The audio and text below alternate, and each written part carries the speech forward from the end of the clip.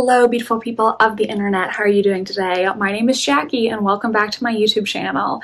Today's video is going to be the start of a new reading vlog. And in today's vlog, I am going to be reading three books that the library picked for me. A few months ago, I posted a video with some ideas I had for themed reading vlogs, and I asked all of my subscribers to go vote in a poll to decide which idea I was going to film first. This was the idea that you all voted for, and I was honestly not expecting it. This was the idea that I probably like liked the least, and it was the one that I think was going to be the hardest to film because like I said in that video, I did not want to personally go up to librarians and ask them for book recommendations because one, I have social anxiety, and two, obviously, I do not want to take up too much of their time or bother them.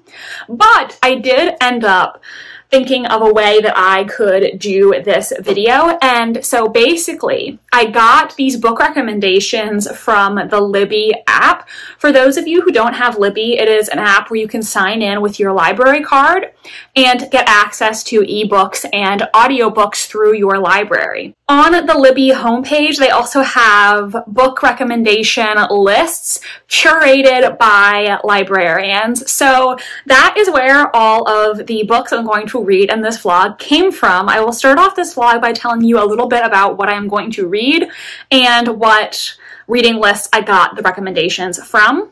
The first recommendations list I looked into was one called Library Love, and this was basically a recommendation list with books that are about books or involve libraries or librarians in some capacity. So for instance, one of the books on this list was The Woman in the Library by Sulari Gentill, but that book is already on my TBR. So I wanted to pick something that I was not already planning on reading. And what I ended up selecting was The Lions of Fifth Avenue by Fiona Davis.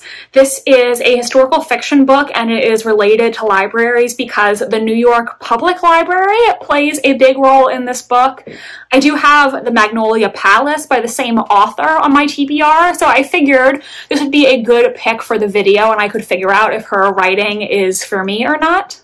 So this book mainly takes place in two timelines. The first timeline takes place in the year 1913, and the main character in this timeline is Laura.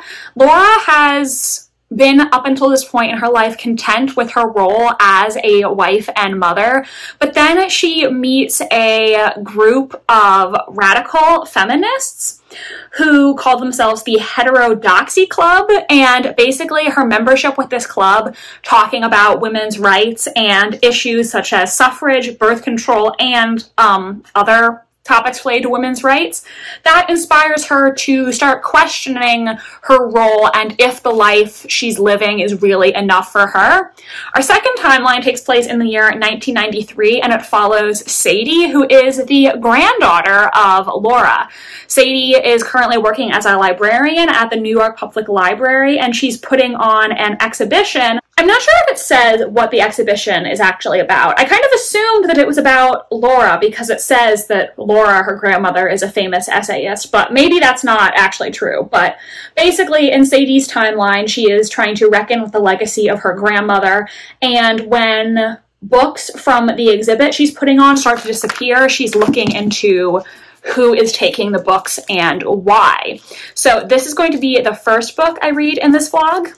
Next, I picked a book from the Cozy Up with a Mystery recommendations list, and for that I'm going to read Maisie Dobbs by Jacqueline Winspear. This is the first in a very long-running, very successful historical mystery series, following the title character who becomes a private investigator in London between the two world wars.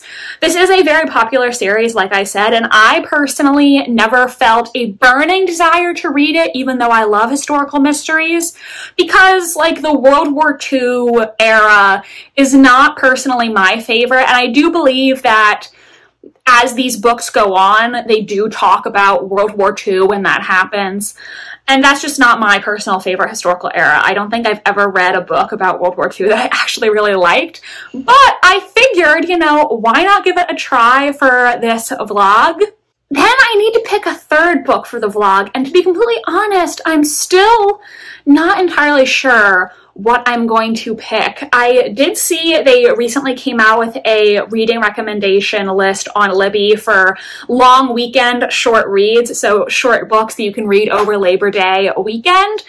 And I think there could be some contenders on that list. Part of me is wondering if I should read Carmilla, which is a forgotten classic that like I'm not opposed to reading. I, to be honest, I probably wouldn't have read it anytime soon if it weren't for this vlog. And I know that this book is very hyped on Tumblr because it is a short classic novella about sapphic vampires.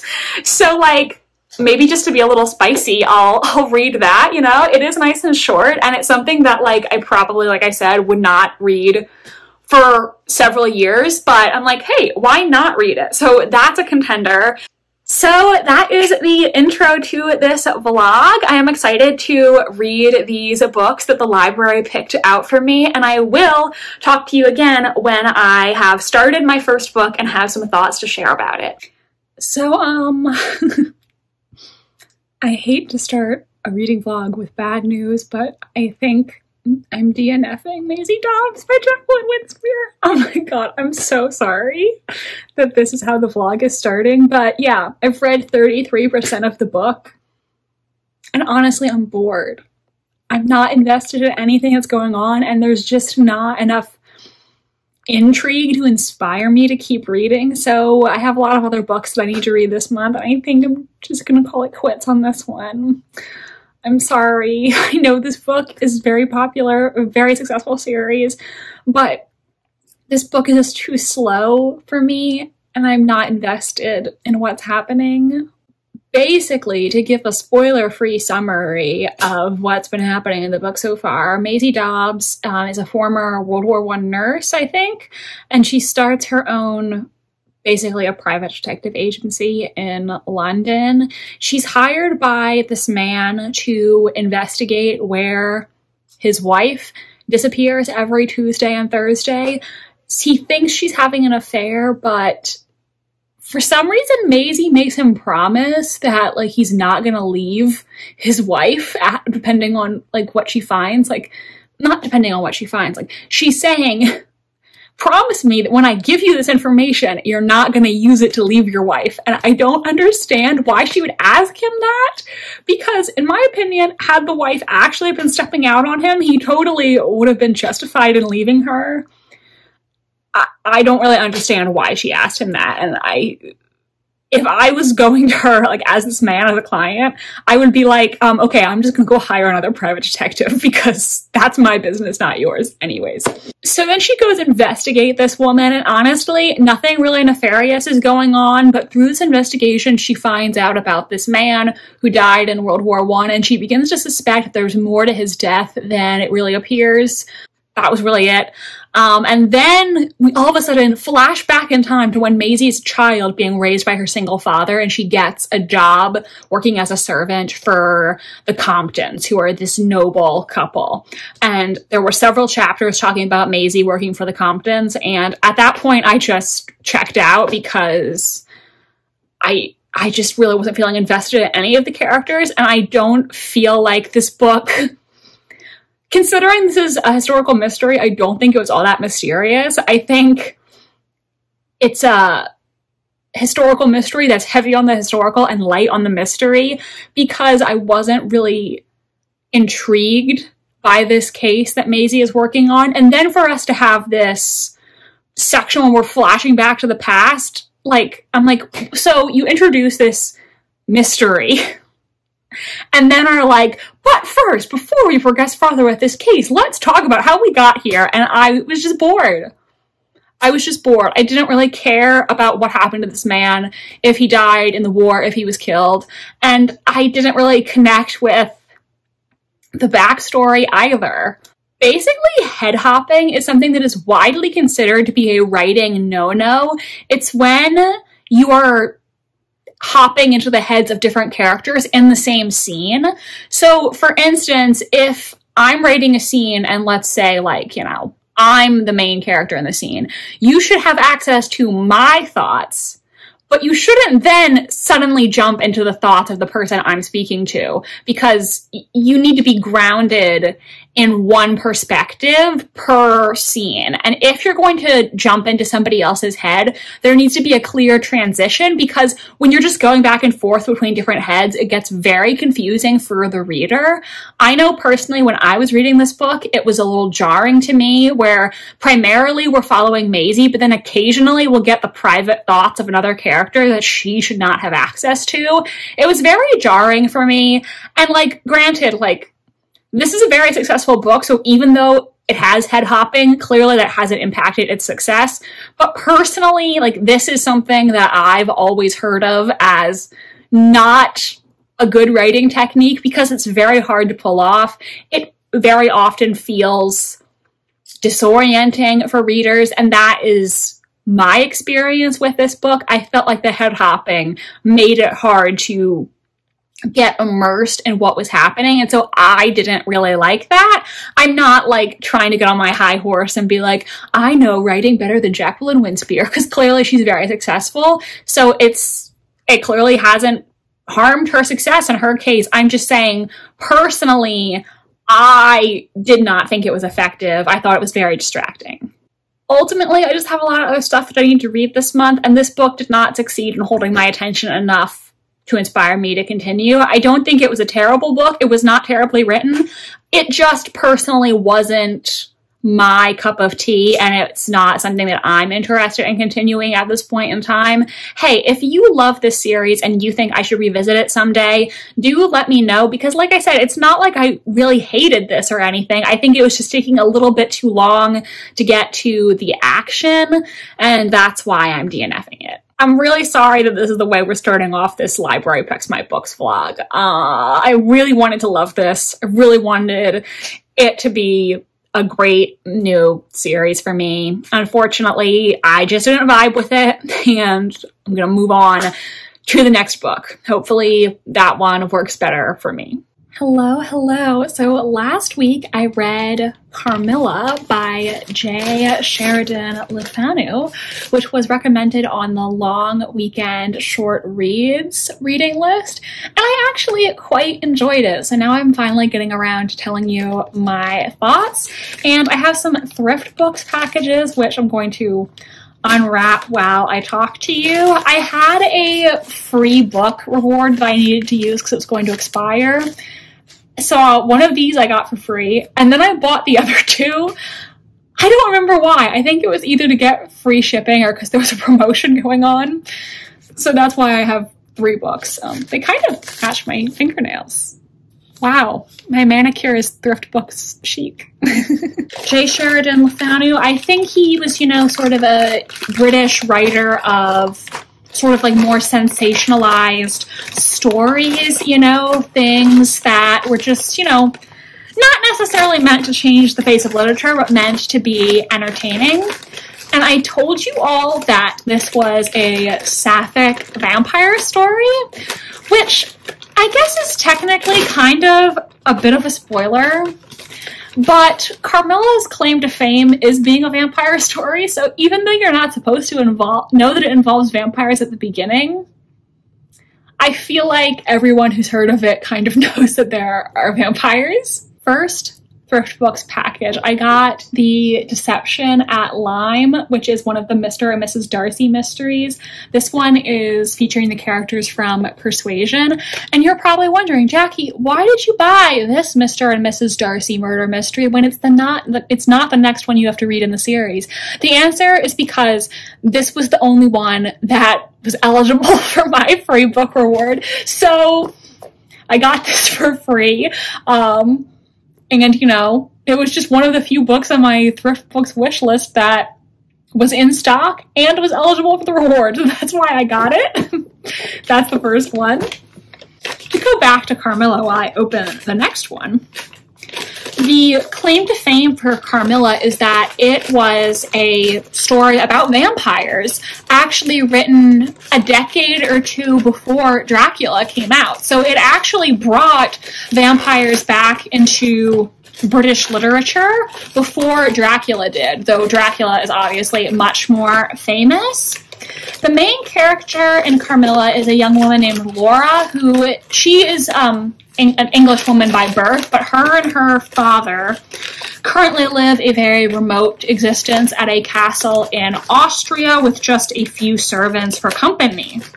That is until one night, a mysterious young woman named Carmilla shows up at their castle and she becomes a friend of Laura, but there's more to Carmilla than there really appears. And I think you can tell where this is going. I first heard of Carmilla because there were a lot of people on Tumblr who were just fangirling over it being a gay vampire story honestly, all in all, I really did enjoy it. I would probably give it four stars.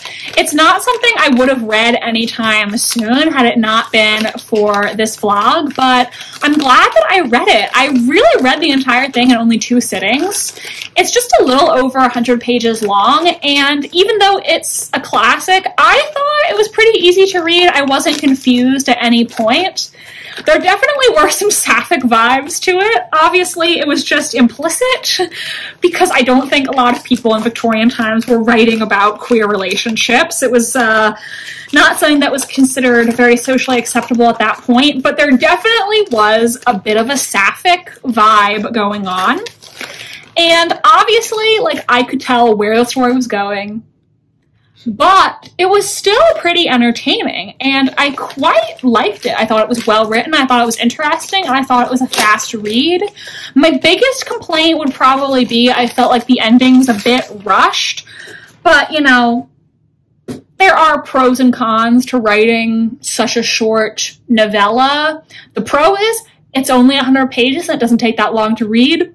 The con is, you know, maybe if it had been a little longer, things would have been wrapped up better all in all, though, I thought it was really solid, and I would recommend it for people who want to read a short classic and or like gay vampires. so the other things that I got from thrift books, I got Murder is Easy by Agatha Christie. This is one of the Agatha Christie books that my library doesn't have. And as you know, if you're subscribed to me, I am on a mission to read every single Agatha Christie mystery. So now I have a copy of this one to read in the future. And I also got the Floating Admiral. Now, you see Agatha Christie's name is on this one, but Agatha Christie did not write this book herself. So, this is a really interesting concept. This book was actually written by, I think, 10 different authors, 12. It was Agatha Christie, Dorothy L. Sayers, and 10 other crime writers. These writers were all members of a group called the Detection Club, which was a group of British crime writers where they would, you know, meet up to talk about writing and workshop ideas together. So they wrote this book as a round robin, where basically one person wrote chapter one and then they passed it off to another person who wrote chapter two, etc., etc. So it's a collaborative mystery written by some of the greatest crime writers from the golden age of detective fiction. I'm excited to give it a try. I think I have heard that the book is a bit um, I'll say mishmash. I think there's a better word for it. It is, you know, you can kind of tell that 12 different people wrote it, but the idea of just this round robin from these detective writers is really interesting to me, so I had to get a copy. It also might be relevant to something else that I'm working on. Wink, wink, nudge, nudge. Anyways, so this vlog did not start off the best with me DNFing Maisie Dobbs, but I did enjoy Carmilla, and now I'm going to read The Lions of Fifth Avenue by Fiona Davis to finish this vlog off. I will start the book and then I will talk to you once I have some thoughts to share. I'll see you then. I think for this book I'm going to use the new bookmark that I got at Books A Million.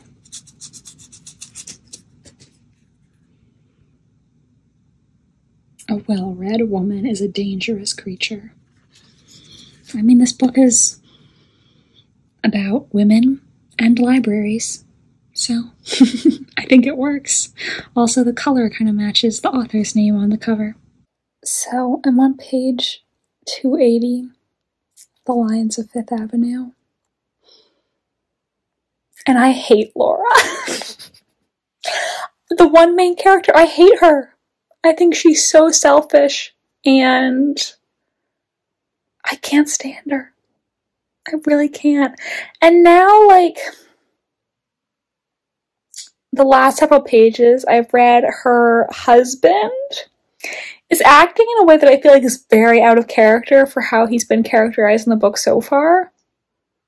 And I feel like the author is just villainizing him to make Laura seem better. I obviously, uh, maybe later I'll do spoilers and explain why I hate her so much, but I just think she's a selfish person. And I know this is pitched as a feminist book, but I don't think she's a feminist. I think she's selfish.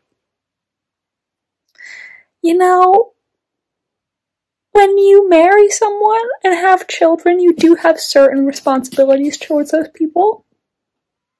To your children, especially. Yeah, I'll probably talk spoilers when I finish this book, but I hate one of the main characters. I can't stand her. The other one's just boring. Yeah. So I have finished reading The Lions of Fifth Avenue by Fiona Davis, and I'm sorry to say that I ended up giving this two stars. Now, I did not think this book was badly written. The reason I rated this so low is I hated one of the main characters, and it was not like a situation where she was meant to be unlikable. She was meant to be a main character that you root for.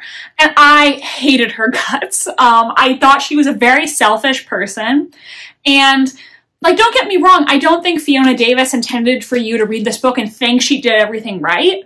But she was still meant to be the main character, the heroine. And I didn't think she was a heroine. I thought she was a selfish person who was a bad mother. And I will go into a spoiler section talking about the specific things she did that made me feel that way. As for the other main character, Sadie, who's in the 1993 timeline, she was fine. Like, I didn't dislike her, but I also didn't really like her, so I wasn't super engaged in that section. Laura, I actively disliked. Like, I felt very strong negative emotions towards her. I would consider reading another book by this author. I do have the Magnolia Palace on my TBR, like I said earlier, because I don't think she's bad at writing. I just didn't like this book because I felt like the character was not sympathetic at all, and it wasn't a situation where she was meant to be unlikable, which is what my problem was. Like, if you're writing a character intending for them to be unlikable, I'm cool with that. The problem is when the author's intentions and my experience don't match up, you know?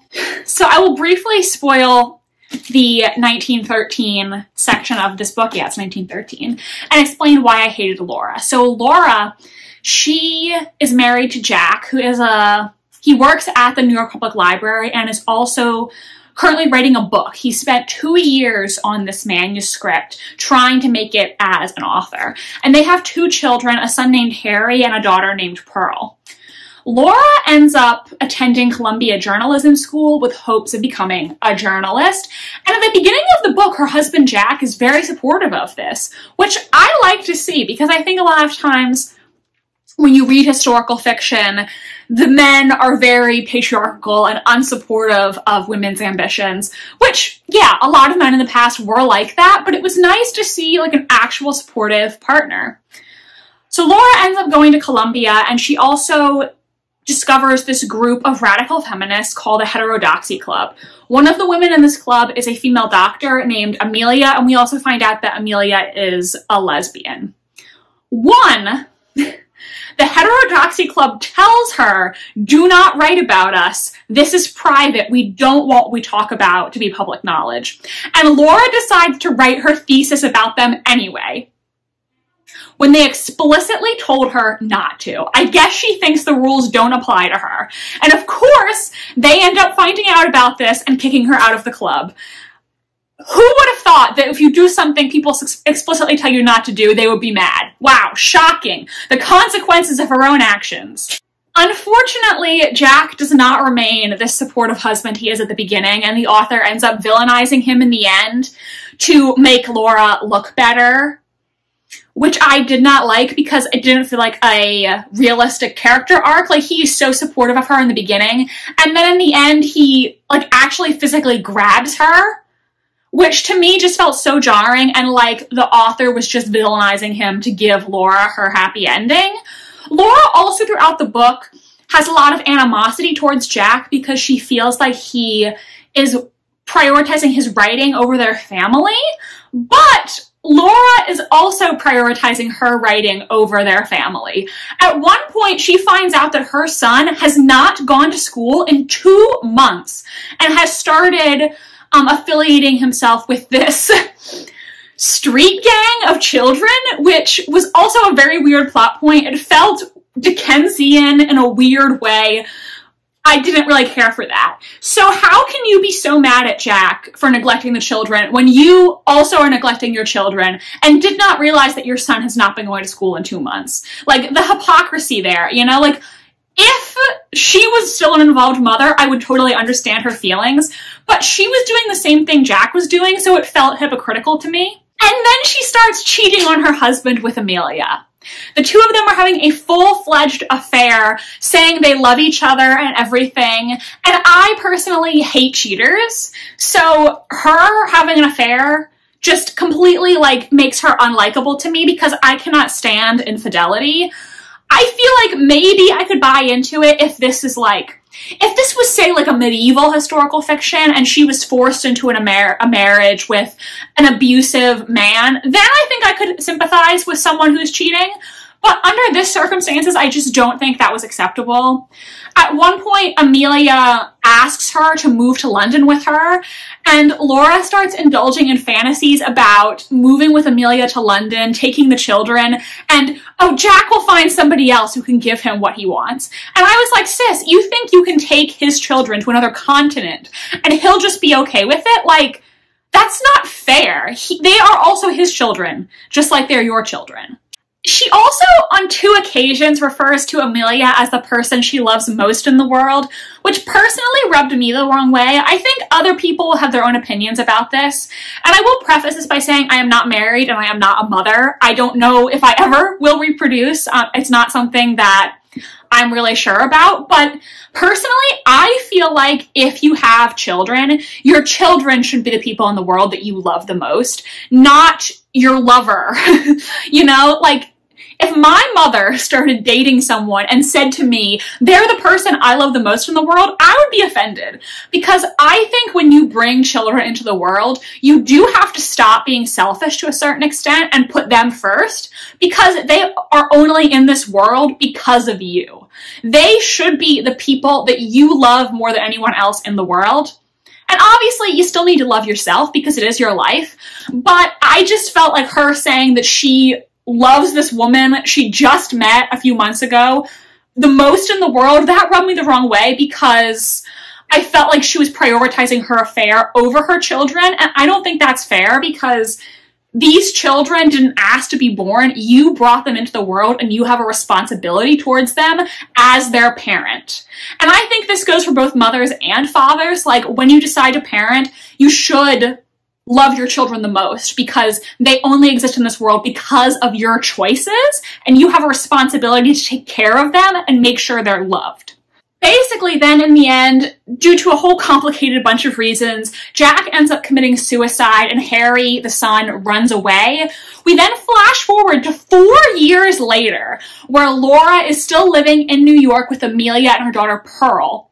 And it also refers to Pearl as being Laura's helpmeet, which is so unfair to Pearl because it is not this child's responsibility to shoulder emotional and like household burdens for her mother. She is a child. She is not Laura's emotional crutch. And it says that Laura has spent these last four years in New York City hoping to get Harry back, but there are no examples of what she's done to attempt to locate Harry. And it turns out that he is with this gang of children that Laura knew he was affiliated with. So my question is really in the last four years, she never thought to look into this gang that she knew he was associated with makes no damn sense. She ends up finding Harry four years later. He tells her he doesn't want to come back. And so then she moves to London without him. She abandons her son and leaves him on his own. And that to me is so shitty. We also then find out that at some point her and Pearl also became estranged. I don't think it ever said why, but this woman abandoned both of her children for an affair. And that's why I hate her guts, because she's a cheater, she's selfish, and she's a bad mother. Like, the book tells us that she loves her children, but I don't believe she really does, because the way she treats them is so unfair. And I hate Laura. I don't think she's a feminist icon. I think she's a selfish person, and I hate her guts. I'm not happy for her and Amelia. They cheated. They abandoned her children. So, um, two stars. I, I freaking hate Laura. I hate her. I hate her so much. So that is my rant on why Laura Lyons is possibly my least favorite fictional character this year. Like I said, I don't think Fiona Davis is bad at writing, so I might give her another chance, but I just could not stand this main character. And I don't understand how anyone sympathized with her because I think she's just horrible. Horrible. Anyways, rant over. So those are my thoughts on the Lions of Fifth Avenue. And that's the end of this Library Picks My Books vlog. I know it was not as successful as maybe we hoped. I had a DNF a four star, and a two star. But I hope you had fun with this video anyway. Um, I'm definitely glad that I read Carmilla. I did quite enjoy that one. The other two didn't really work for me, but you win some, you lose some. If you have read any of the books that I read in this vlog, do let me know in the comment section what you thought of them. I would really like to hear your opinions. If you're still here watching this video and you don't know what to comment, why don't you leave a book stack emoji in the comment section down below? Please give this video a big thumbs up if you enjoyed and subscribe to my channel if you want to see more from me. I post new videos every Wednesday and Sunday. My social media links are in the description if you want to follow me on Tumblr, Instagram, or be my friend on Goodreads. Thank you so much for watching and I hope you have a dazzling rest of your day. Bye, and I'll see you next time.